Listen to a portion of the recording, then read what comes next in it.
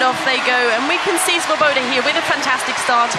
Gets away really well, and now it's Zahi and Neita catching up with her. Neita now going strong.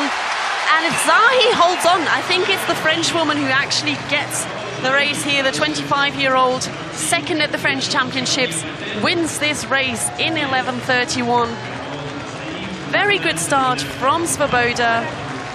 But the confirmed winner in this race is Carolle Zahi with maximum points for France. Second place is Daryl Neita, confirmed.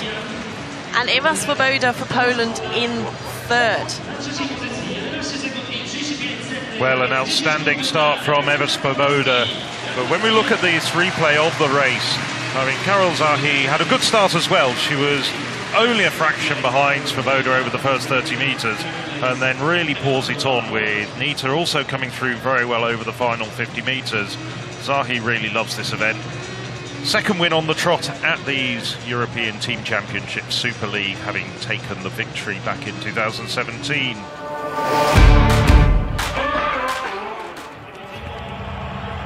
Well, it's Lansiquot who gets the best start. Also, Skrzyszowska on the inside doing very well at the moment. Mayer's coming back from a long way.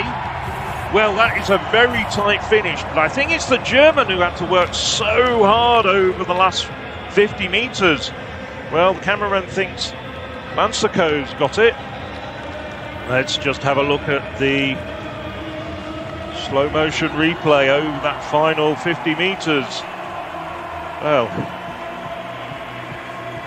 Lansiquot.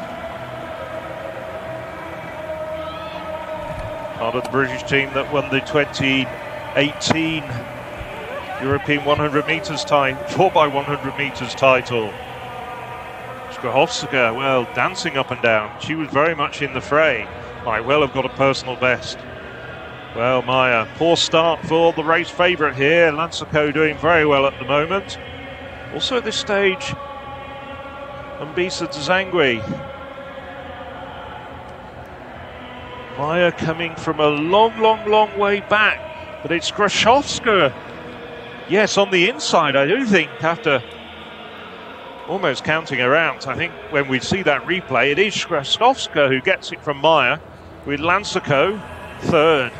Let's just wait for confirmation though, but with that slow motion replay, it did look as though the pole just snuck up and whilst we were looking, well, here's Skrzyszowska, 11.25.